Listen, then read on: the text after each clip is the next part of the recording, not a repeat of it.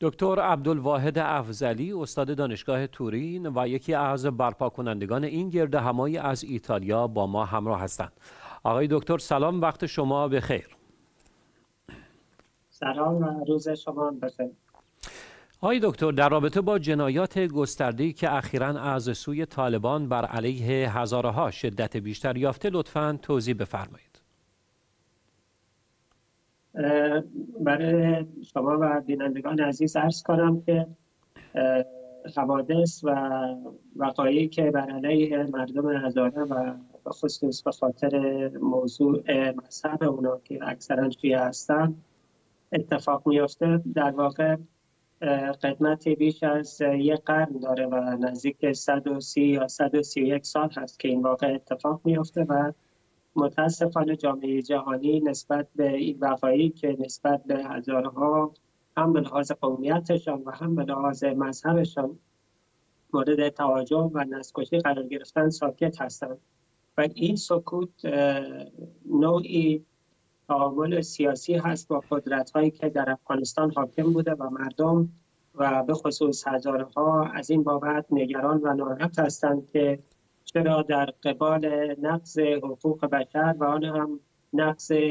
سیستماتیک و هدفمند حقوق بشر جامعه جهانی سکوت می‌کنند و همچنان با گروه طالبان که هنوز در لیست سیاه اتحادیه اروپا سازمان ملل متحد و آمریکا هست تعامل دارند و حتی به طالبان میشنویم و به صورت رسمی هم گزارش های وجود داره که کمک می‌کنند.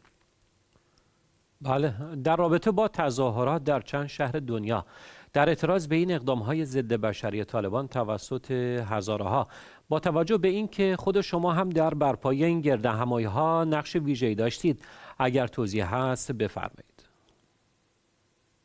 بله نسبت به حوادثی که اتفاق افتاد و خصوصا دستگیری دختران و اغلب این دختران از شهرهای دستگیر شدند که هزاره و شیعه بودن و در کابل هم در مناطقی اتفاق افتاد که بیشتر مناطق هزاره نشین و شیعه نشین هست این نگرانی رو به وجود آورد که علاوه بر اون تبعیض جنسیتی که طالبان نسبت به دخترها و خانمها اعمال می‌کنن برخورد و رفتار تبعیض‌آمیز قومی و مذهبی را هم اجرا می‌کنند نسبت به وقایعی که اتفاق افتاد افغان هایی که در کشورهای مختلف زندگی می کنند نسبت به آن اعتراض کردند و همراه این اعتراضات نه تنها مردم هزاره که مردمی از اقوام دیگر هم همراهی کردند چرا که همه به این نتیجه رسیدن که اگر امروز نسکشی مردم هزاره شناسایی نشود و اقدامی برای مقابله با آن صورت نگیرد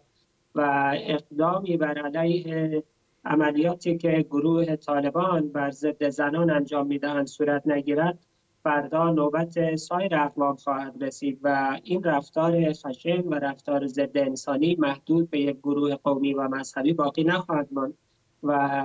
حتما دامنه آن سایر مناطق و سایر گروه قومی را هم در بر خواهد گرفت. بنابراین این نگرانی نگرانی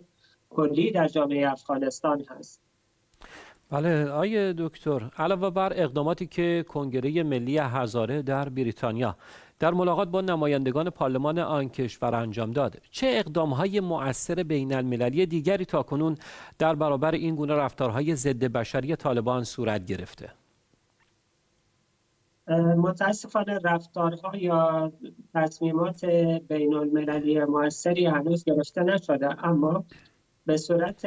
موردی در برخی کشورها گروه هایی که از مهاجرین در اون کشورها هستند توانستند که با برخی نهادهای رسمی مانند پارلمان اون کشورها ارتباط برقرار بکنند و اونها را قانع بسازند که باید در پارلمان این کشورها کمیته های حقیقتیابی ایجاد شود تا موضوع نسکشی مردم هزاره را به صورت رسمی بررسی بکنند. به همین دلیل علاوه بر انگلستان با کمیته های از پارلمان استرالیا، ایتالیا و کانادا و همینطور آلمان صحبت هایی صورت گرفته اما به صورت رسمی هنوز اتفاقی رخ نداده. همچنین اسناد و مدارکی جمع آوری شده و به آی سی سی یا دادستانی سی ارسال شده است. اما هنوز نیاز به اقدامات جدیتر دیگری وجود دارد.